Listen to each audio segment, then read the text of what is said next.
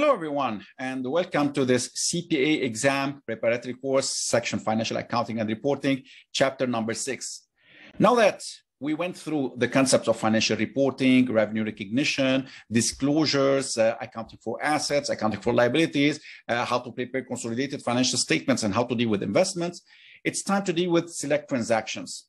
This part has a weight of 20 to 30% in your financial accounting and reporting exam. So it's such an important part to focus on and to deal with. So what about this part? What does it contain? In this part, we're going to go through the concepts of leases, derivatives, foreign currency accounting, and income taxes. We're going to go through the definition of leases, uh, the parties involved in a lease agreement, how to account for leases in the books of each of those parties, and then later on, uh, we're going to go through the derivatives. We're going to define and identify the main derivatives and uh, the main accounting requirements that have to do uh, with uh, such derivatives. And then going to go through foreign currency accounting, foreign currency translation, foreign currency transactions.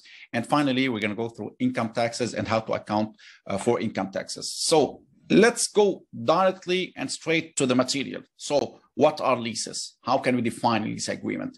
Leases in general, or a lease agreement in general, this is an agreement between at least two parties. Now, the first party is a party who owns or controls an asset. So again, it's really important to identify the importance of control. It's not just about owning an asset. Sometimes an asset can be a resource that you're controlling. So for example, when you lease a property, this is property that you're controlling. We will discuss it later on. But the first party involved in a lease contract, that would be uh, the lessor. The lessor is a party which owns or controls the property.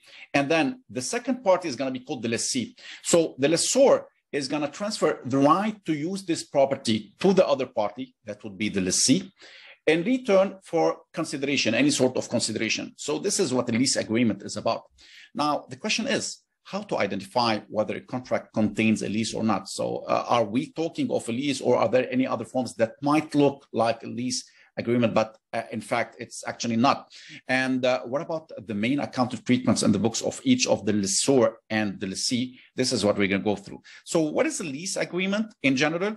Leases are used by public and private entities as a means of gaining access to assets and reducing their exposure to the full risk of asset ownership in other terms. So instead, instead of having to pay the amounts to own an asset, so let it be a building, for example, a lease is a sort of uh, uh, agreement that would give you access to this building without having to actually purchase the building and then to take responsibility of the maintenance and uh, to assume all of the risks of ownership of that building. So as a definition, a lease is a contractual agreement between a lessor now, that would be the party owning or controlling the resource initially.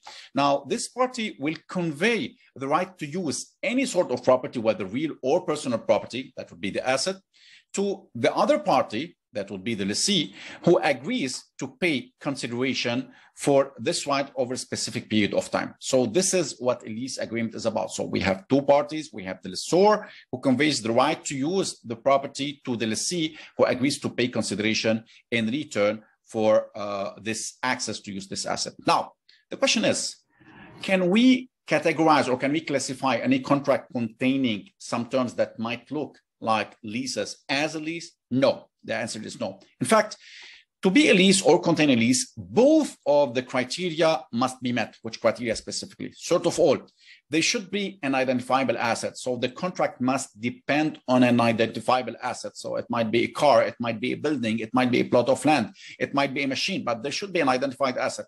Now, by identified asset, we don't necessarily mean a red car with a plate number of A, B, C, D, E. No, it's not the case, but it should be a car. So this is an identified asset. So the first criteria uh, criterion that would be for the contract to depend on an identifiable asset in which the lessor does not have a substantive substitution right. In other terms, there should be one asset or a group of assets, and the lessor, that would be uh, uh, the actual owner or the actual party controlling the asset initially, uh, cannot substitute right, this uh, asset for another asset unless for uh, other reasons, for example, for maintenance.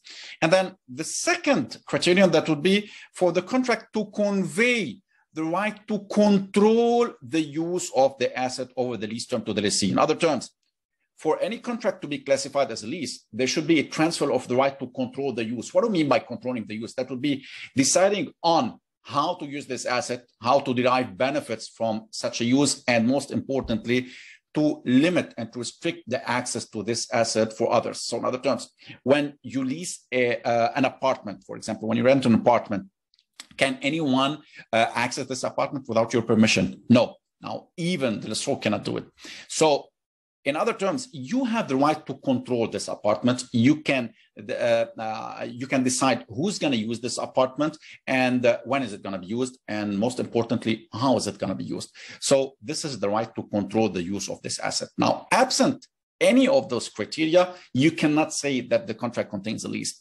Now, for example, what if uh, um, you you have an agreement to transport goods from uh, one place to another uh, through a ship and uh, uh, the commodity, or let's say uh, the goods that you're going to ship, are going to occupy substantially most of the area of the ship. So, is it a lease agreement? Now, you're going to have to check whether uh, there is an identifiable asset, now that would be the ship, uh, uh, basically, and then whether you have the right to control the use. Who's controlling the ship? Who is managing the ship? This is the main question. So it's not a lease agreement if you're not you as lessee or as the second party the client you're not controlling this property. So if you go through the illustration so look at this illustration about the definition of lease. Bentley corporation has a written agreement in place to allow riggs inc. to use scientific equipment with a book value of $75000 for the next five years Bentley has the right to replace the equipment with a comparable piece of equipment during the term, but Riggs is able to use the asset as it wishes for the next five years while keeping any cash inflows associated with outputs from the equipment. So, first of all, who are the parties involved in this contract? We have Bentley Corporation, and then we have Riggs Inc. Now, who's the lessor, who's the lessee in this case now? First of all, we're yet to identify whether we have a lease. So let's say who's the supplier and who's the client. The supplier is uh, a Bentley Corporation, and then the client is Riggs Inc. Now, under this agreement, Riggs can use scientific equipment having a book value of 75,000 for the next five years. Is it a lease agreement? we cannot know yet. We have to check whether we have an identifiable asset. So um, basically, that's the scientific equipment. And then we will have to check whether Riggs has the right to control the use this asset. So let's go directly uh, uh, through the next uh, sentence. So Bentley, that will be uh, the supplier, has the right to replace the equipment with a comparable piece of equipment during the term, but Riggs is able to use the asset as it wishes for the next five years while keeping any cash inflows. In other terms, Riggs, that will be the client, has the right to use the asset right, in any way. And most importantly, uh, uh, Riggs has control over this asset. Now, although Bentley can replace the equipment with a comparable piece of equipment, so it might be the same piece of equipment or any comparable piece, so that's almost the same. It might be for maintenance purposes, right? It's allowable. And in this case, uh, you're still actually, Riggs has the right or has the control over this asset. So this is a lease agreement. This is an example of a lease as there is a contract in place that defines the asset itself, that would be the scientific equipment, recognizes Bentley's right to substitute the asset, but provides Riggs with the economic benefits and direction for the use of the asset. So to have a lease agreement or for any contract to contain a lease component, there should be an identifiable asset and there should be a transfer of the right to control the use of this asset to the client. Both uh, uh, um, both uh, criteria being met, that would mean that you have a lease agreement. So what about lease contracts? So often lease contracts come as part, or actually leases come as part of uh, uh, bigger contracts that contain different obligations. So in any contract, we might need to identify the lease and the non-lease components. What is the non-lease component? That would be any component of the contract that uh, doesn't look like a lease. Right. So the decision as what, whether a contract is a lease or contains a lease must be made at the contract inception. So the first thing to do in accounting for leases that would be to identify whether the contract contains a lease or not. That's number one. And then number two, you will have to check the lease components and the non-lease components. So it only may be reassessed if the terms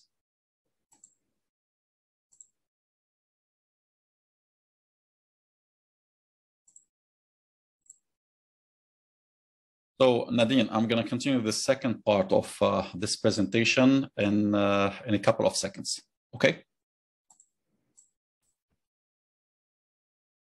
All right.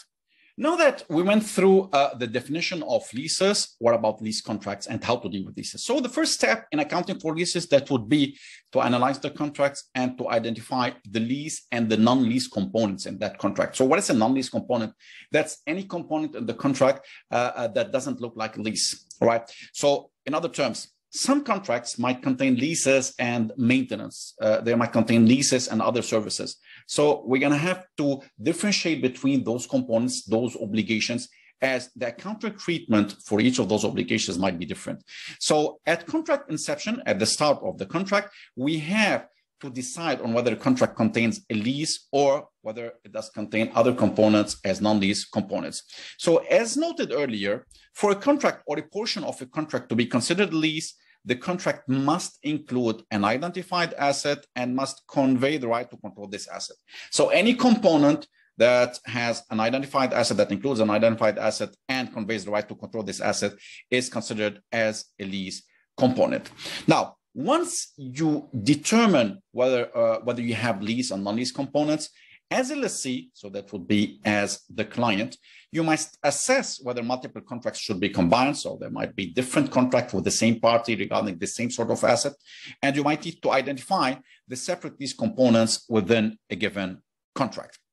Having said that, what about the next step? Now that we have identified the lease versus the non-lease components. What the next step that would be to go and to start accounting for the lease. But how is that done? Now, first of all, we might need to, uh, um, uh, to, to check whether we're accounting in the books of the lessee or the lessor. So it depends on the party because the treatment in the books of the lessee is so different than that in the books of the lessor. So in the same contract, you might need to differentiate between the different components. You have the lease and you have the non-lease components. What if you have separate lease components? So what if, uh, uh, for example, you have uh, uh different assets in the same contract? So what are you going to do? Number one, you would need to identify each right to use an underlying asset within the same contract. So is it the right to use different assets in the same way or different rights? This is important. So one right to use an asset equals one separate lease components. So let's say you've entered into a contract with the same party to rent a building to rent a car and to rent machinery and equipment. So how are you going to use the building? How are you going to use the car? How are you going to use uh, uh, the machinery? And uh, what are the rights? So do you have one right to use each asset? So in that case, the building, the lease of a building and the lease of a car, the lease of machinery are three separate leases. Or we have more than one right to use an asset. So in this case, as a lessee, you must determine whether each right equates to a separate lease component for accounting purposes. In other terms, you have different assets, all right, and you have different rights. So are we talking of the same right or different rights? This is the first question. Secondly, what about the same asset? Do you have more than one right to use this asset? How are you going to use this asset? And uh, most importantly, uh, how are we going to derive benefits from such a use? So for a contract that includes both lease and non-lease components, as lessee, you have two options. It's either to treat the lease components as separate units of account from non-lease components. So if a contract includes a lease component and maintenance, as we're going to see in the next example. So you might treat each component separately. That's option number one. And then option number two, that would be to, uh, uh, to treat each separate lease component as combined with a related non-lease component into one unit of account. Now, how do you do such contract allocation? It's simple. You look at the components of the lease and then you identify the way you're going to use uh, or you the way you're going to benefit from each of those obligations performed by the resort, and accordingly you will go through uh, uh, this classification. So look at this example. Example number one is really important. Fast Science leases two electron microscopes to a university for four years each. So the lease term is four years, all right? Now we have two microscopes, and that would be for four years. Microscope FE is leased for monthly payments of $7,750 and comes with maintenance services. So this might be a non-lease component. Now, it's definitely a non-lease component, but the question is, how shall we deal with it? Shall we deal with it separately or as combined with the lease of the microscope? Microscope SQ is leased for monthly payments of $8,600 and also comes with maintenance services, right? Now, the standalone prices for each unit are listed below with price differentials reflecting the difference in microscope power offered at two distinct university locations. So starting with microscope FE, the standalone price of such a microscope is $400,000, right? And uh, the standalone price of microscope SQ, that would be $450,000. Whereas the maintenance for FE uh, would cost uh, uh, separately $30,000 and that of SQ would cost $35,000 for a total of $915,000. Now, this is not the contract value. 915, that would be total standalone prices.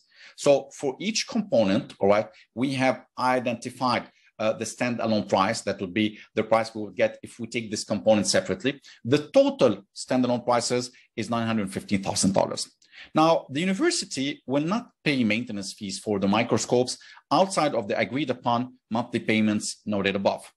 So we're required to calculate the consideration allocation under a scenario in which, number one, the lease and non-lease components are treated separately, and number two, the lease and the related non-lease components are combined into a single unit of account. So is it up to the lessee to identify or to determine whether uh, whether uh, uh, those components are to be combined together or not? No, it depends on the circumstances. So can you separate those components? So in other terms, can you take, so can you lease the microscope without having access to the maintenance services or is it mandatory? So for example, it's a unique microscope offered by the lessor and this lessor doesn't normally uh, rent microscopes without providing maintenance services that would be uh, um, to make sure uh, or to guarantee the functioning of the microscope. All right. So in this case, it's a combined unit. But if you can opt for each uh, component or each service separately, then in this case, you will have to separate them. So we need to calculate the consideration allocation under a scenario in which the lease and non-lease components are treated separately, and then they are treated combined. So let's start with option number one. Now, in option number one, that would be separate leases and non-lease components. All right, so what are we going to do? Now, we have four components in this case. We have uh, the lease of microscope FU, uh, FE, sorry, that of microscope SQ, the maintenance of FE, and the maintenance of SQ. So those are the standalone prices for each of those components what is, uh, what we need to do next that would be to calculate the portion of the standalone price out of the total standalone prices. So for example, the portion of uh, 400,000 out of $915,000. So that would be almost 44%. So by dividing 400 by 915, that would be 44%. I'm going to do the same for the remaining prices. So by dividing 450 by 915, I'll get 49%. 30 by 915, I'll get 3%, and 35 by 915, I'll get 4%. All right. And then what's the next step? I will calculate or I will multiply the contract value by this allocation. But the question is, how much is the contract value? Right? Now, if you go back to the facts, all right, so microscope FE, so if you start with microscope FE, so for this microscope, we have monthly payments of 7,000 $750. So that's 7,750, all right, uh, per month. So that would be 12 payments per year over four, four years. So the total amount that would be 7,750 multiplied by 12 multiplied by 4. So this is what has to do with uh, the microscope FE. That would be a total of $372,000. Now, what about the second microscope, microscope SQ? So for the second microscope, that would be a payment of 8,600 per month over 12 months over four years, right? And uh, uh, oh, by multiplying 8,600 by 12 by 4, you would get a total of 412, 800. So that would be a total, total of 372 plus 412, 800. That would be a total of 784, 800. So this is the contract price, all right? The lease contract for both microscopes has a total consideration of 784, uh, uh 784,800 dollars. Now, I have to allocate this amount to each of the four components. All right. So I would have to allocate the 784,800 to the lease of microscope FE, and then to that of microscope SQ, and then to the maintenance of each of those microscopes. All right. So I'm going to multiply 784,800 by 44% to get the value for this first contract. And then I'm going to do the same for microscope SQ. So multiply by 784,800, that will give 384. And then the same for the maintenance of each of those components or microscopes, right? And in this way, I would get uh, uh, the value or I would get uh, uh the allocated price in that contract for each of those components. So the total must be 784,800. So in other terms, any contract of a total of 784,800, 345,312 to be allocated to the rent of microscope FE, 384,552 to the rent of microscope SQ, 23,544 to the maintenance of FE, and 31,392 for the maintenance of SQ. So later on, the accounting for those leases and the related services are going to be made based on those figures, all right? Now, what about scenario number two? This is scenario in which I'm going to consider, I'm going to combine the lease and non-lease components. So for each microscope, I'm going to take uh, the rent of the microscope and the maintenance all together. And the same applies for the second one. So uh, the same logic to be applied, but instead of treating each component separately, I'm going to combine the lease of the microscope and the related maintenance. So for FE, it's going to be a total of 430,000 being the, to, uh, uh, the total, uh, the sum of the 400 that would be the standalone price of microscope FE and the 30,000 the maintenance, right? And the same to be made for microscope SQ, that would be total 485. And then later on, I will calculate the portion of each component out of the total standalone prices. So 430,000 divided by 915,000 and then 485 divided by 915,000. All right, that would give 47% for the first one and 53% for the second one. And then later on, each portion multiplied by 784,800 would give the actual figure or the figure I'm going to use to account for such leases. Right? So the first step that will be to identify uh, the existence, whether we have a lease uh, or not, and then to separate the lease components from non-lease components if possible. Now, uh, what about this next step? Now that we have uh, identified the existence of a lease and we have identified the different components of the lease agreement, we will have to continue for the lease classification in the books of each of the lessee and the lessor. Now, remember, we have two parties and two different treatments, right? Now, for the lessee, the lessee would account for the lease as either an operating lease or a finance lease. Now, I have to warn you that those types of leases are somehow different than what we used to use uh, previously. So those requirements for accounting for leases are somehow new.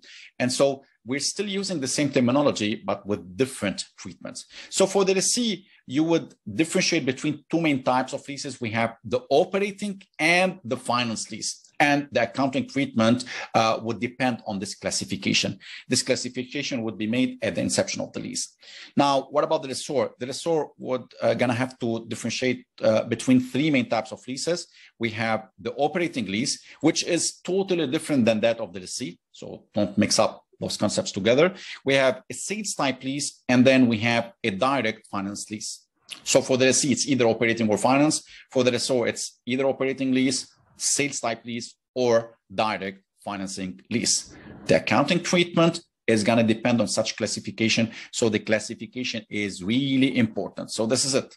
For the lessee, we have the operating lease and a finance lease. And for the lessor, we have also an operating lease and a finance lease, but the finance lease might either be sales type lease or direct financing lease. It's important to note that the concepts or the terminology is the same, but the concepts and the treatment is totally different. Now, what about the changes? Traditionally, we used to account for leases. Initially, we used to account for leases as expenses in uh, the P&L income statement, and that's it. And then later on, we used to differentiate between two main types, the operating and the finance lease, right? The operating lease, or actually the finance lease, that would be the lease that would substantially transfer all of uh, uh, the risk and rewards of ownership to the lessee. So for example, a lease with, uh, uh let's say, uh, with a transfer of ownership at the end of the term, or uh, that would be a lease with a written bargain purchase option, or a lease for the majority of the useful life of the asset. So in such a case, the risk and rewards of ownership uh, are deemed to be transferred to the lessee. So that was a finance lease. And then any other uh, uh, type of lease will be classified as operating lease. Now, under finance leases, we used to capitalize the leases, whereas under operating lease, it was still the same old traditional treatment. Now everything has changed. Now for the lessee, whether it was an operating lease or a finance lease, you have to capitalize, right? You have to capitalize. Right? What, what about that? In fact, any lease agreement is about transfer of control over the use of an asset from one party to another. And then when you control a resource that would be uh, that would satisfy the definition of an asset. So when you control a resource, even if if that would be for one or two years, but uh, basically it's uh, it's it satisfies the definition of an asset, isn't it? So you're controlling a resource, so that should be classified as an asset, so it should be capitalized. But at the same time, you're committing as a lessee uh, to a series of payment or you're committing uh, to pay consideration to other party. So it does satisfy the definition of an obligation and so it's a liability. So this is why, this is why in all sorts of leases, the general says in all sorts of leases, the lessee would have to capitalize, so would have to recognize both an asset and a liability, right? Both an asset and the liability. All right. Now, it would be the same whether it was an operating or a finance lease, but the difference would consist in the subsequent treatment. Now, at the inception of the lease, at the start of the lease, the lessee would now have to capitalize to recognize both an asset and a liability. All right. And uh, this is somehow different uh, from the rules we used to apply previously. Now, what about the lessor? The lessor has different treatments and it depends on the classification of the lease. This is what we're going to see next. So let's start with the lessee the lessee would have to differentiate between operating leases and finance leases. So what is the difference, right? Now it's simple. Now let's memorize or let's get introduced to a new mnemonic to memorize that would be owns, right? O W N E N S. That would be owns, right? So it's a finance lease whenever it's one of owns, and if not, it is an operating lease. So I'm going to write here no owns. What? So it's a finance lease whenever you have any of the owns, and it's an operating lease whenever you have none. Right? What about the owns? Now, number one, if the lease agreement transfers the ownership to the lessee at the end of the lease term, then that would be the ownership criterion that has been met. Ownership right? The O stands for ownership. And then if the contract includes a written bargain purchase option, written bargain purchase option, that's the W, right? Any of the owns must be there for, for the lease to be a finance lease, not necessarily all together.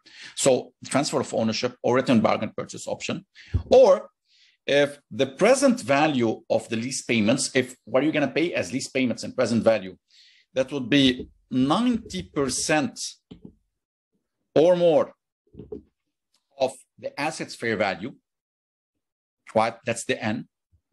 Or if you're gonna lease the asset for the majority of the economic life, so almost 75% of economic life, right? Or if the asset is specialized in a way no one but the lessee can use it. So for example, it was a customized satellite, let's say, all right? So it's customized based on your needs and no one else might be able to use it. So it's a specialized asset, right? If any of those five conditions is met, then this is a finance lease. Okay, if any of those five has been met, then this is a finance lease, only one, right? Not necessarily all. Now, if none, then it's an operating lease. So what about the difference between uh, the treatment under an operating lease or under a finance lease? Now, at the start, it would be exactly the same. You would have to capitalize an asset to recognize an asset and related liability. All right. Now, later on, the subsequent treatment is going to depend on whether it's an operating lease and a finance lease. Right. So that's the classification for the lessee. What about the lessor? Now, for the lessor, it's going to be almost the same, almost the same concepts, but different treatments. So in other terms, now for the lessor, if any of the owns has been met, which uh, basically mean that this is finance lease for the lessee, this is a sales type lease. So any of owns to be met, then this is a sales type lease for the lessor, right? Now, if none of the owns has been met, then it's an operating lease for the lessee, but for the lessor, it might be either a direct financing lease as a finance lease or an operating lease. So how to determine whether it's a direct finance lease or an operating lease? It depends on whether two additional conditions have been met. What? So if both conditions, the P and C, the P and C have been met, then this is a, a direct financing lease. So what is P and C? In fact, if the present value of the lease payments, all right, is equal or exceeds the underlying asset's fair value, then this is when you might have a direct financing lease. Now remember, you just need any of the owns to be met to have a sales type lease for the lessor, but you need both P and C to be met. Now let's get back to the P. Now the present value of the sum of lease payments, didn't we just say that uh, it's almost the same condition as the N? No, it's different. There is a difference between both conditions. Now for the N, that would be all lease payments and any guaranteed residual value, right, to be included in such a calculation. So what is the guaranteed residual value? This is when, for example, you lease a property and then you promise the lessor that when you return it back, it might be uh, uh, worth, let's say, uh, $1 million, right? So if not, you will have to compensate them for the difference. So that's the guaranteed residual value. Now, when calculating the N, when determining the N, you will have to take into account the guaranteed residual value by the lessee. Whereas for the P, it should be not, it shouldn't be included. So in other terms, the present value of the sum of the lease payments, lessee guaranteed residual value, not included, but any third guaranteed residual value to be included. So in other terms, the only difference would be in the ex existence of a guaranteed residual value by the lessee. For the N, you will have to take it into account. For the P, you don't have to take it into account. And then the collection of the lease payments is uh, almost uh, uh, certain. So in that case, if both P and C are met, but none of the owns, then it's a direct financing lease for the lessor. So let's repeat it again. Now, for the C, it's either an operating or a finance lease, right? If any of the owns has been met, then it's definitely a finance lease. If none of the owns are there, then it's an operating lease. For the lessor, it's either an operating lease or a sales type or direct financing lease. It would be a sales type lease if any of the owns met. It would be a direct financing lease if no owns, but both pre and C, right? And if no owns and no P plus C, remember, no P plus C, not just, so uh, the mere existence of any of both P and C, right, means that it's an operating lease. So if no owns and no P plus C, then in this case, that would be an operating lease for the lessor. Now, the classification is so important for the subsequent treatment for the leases. For the lessee, you're always going to have to uh, uh, register an asset to recognize an asset and a liability with some exemptions. And for the lessor, right, you're going to have to uh, to do the treatment based on whether it's an operating lease or a finance lease. This is what we're going to cover in the next part. Having said that, ladies and gentlemen, we're done with the first part, that would be the identification of the lease and the lease classification. What about the next part? That would be the initial recognition and then the subsequent measurement of leases.